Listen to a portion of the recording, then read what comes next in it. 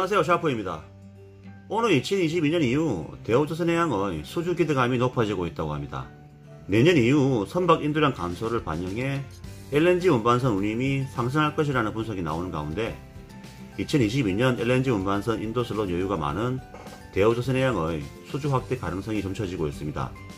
19일 업계에 따르면 지난 3월부터 전 세계 국가들이 코로나19로 인한 이동 제한 조치 시행으로 인해 소비 시장이 침체됐지만 국가별 LNG 수요는 지난해와 유사한 수준을 유지하는 모습이라고 합니다. 특히 국제에너지기구는 유럽에서 올해 상반기 천연가스 소비량이 지난해보다 7% 줄었지만 LNG 수입량은 지난해와 같은 수준이었다고 합니다. 그러나 코로나19가 여전히 확산되고 있는 데다 계절적으로 LNG 수요가 높아지는 가을과 겨울로 접어들면서 LNG선 운임 상승이 예고되고 있습니다. 실제 174K급 맨브레임형 LNG 운반선의 최근 운임은 69,500달러로 두 달 전에 비해 104% 상승했습니다. 현재 한국 조선소의 LNG 운반선 인도량은 2022년 36척에서 2021년에는 52척이 될 예정입니다. 이어 오는 2022년 인도량은 23척, 2023년 인도량은 13척의 전량들이 계획됐습니다.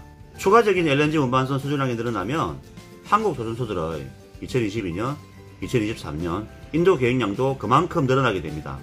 코로나로 전 세계 경제 상황이 좋지 않음에도 LNG 수요는 매우 견조한 모습을 보이며 국가별 LNG 개발 투자 움직임이 속도를 내고 있다고 합니다. 이미 한 달이 채 안 되는 사이 세계적인 산업용 가스 제조사 에어프로덕츠가 카타르와 LNG 액화 기술 공급 계약을 체결했고 모잠비크와 말레이시아 페트로나스, 러시아 야만에서도 LNG선 발주 계획을 언급하고 있습니다.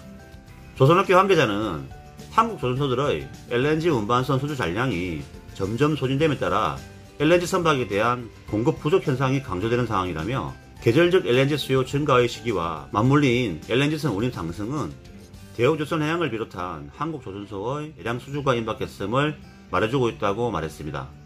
이어 대우조선해양 관계자는 카타르 LNG와 더불어 러시아 야말 LNG선 수주에 대한 가능성이 자주 언급되고 있다며 그런 와중에 조선 3사 중 2022년 LNG선 인도 슬롯이 가장 여유가 있다는 점에서 연말까지 가장 많은 LNG선 수주가 기대된다고 덧붙였습니다. 한국의 LNG 운반선 인도량이 2020년 36척, 2021년에는 52척.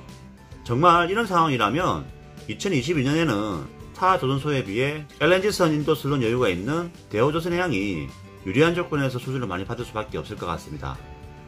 카타르 LNG 프로젝트, 러시아 야말 LNG 프로젝트, 향후 대우조선해양의 선전을 기대해 봅니다.